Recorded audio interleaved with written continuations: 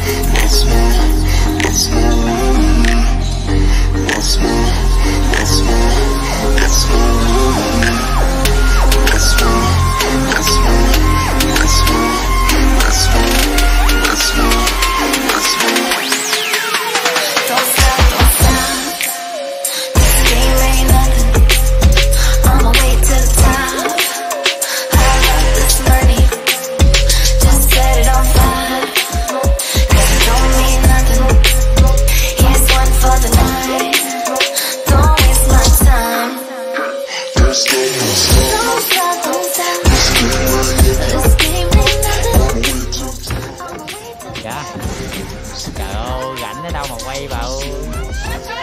Đi quay quay cái dạ lên tv vậy đẹp thôi, còn mát hết.